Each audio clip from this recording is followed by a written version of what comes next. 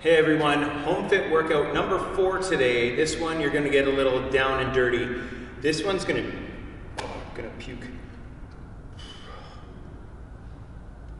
I'm good. Hey everyone, home fit workout number four today. I just did it down and dirty and you guys are gonna do it too. Starts off with six over the bucket burpees, so like a bar over burpee, but over a bucket. So if you don't have a bucket, you can just throw something on the ground and jump over it. Children and animals, not recommended, because if they move and you step on them, it's not gonna be so good.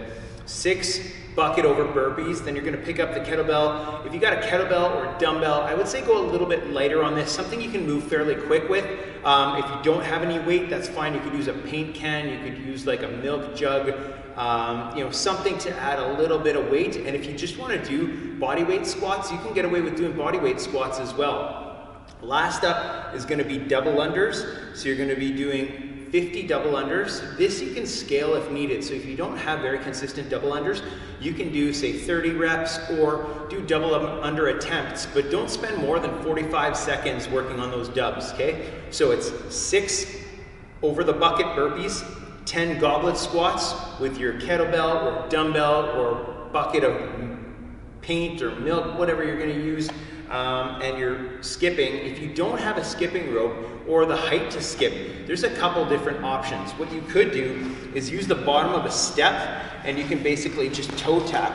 So go like 30 or 50 reps, whatever you're gonna do. If you want, if you have like a five gallon pail that you wanna use too, you could do that as well this is gonna get to suck after a while and probably be a little bit more challenging than the skipping.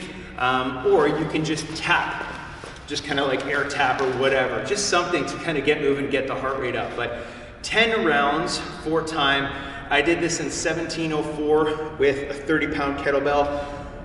What do you guys have? Let me know.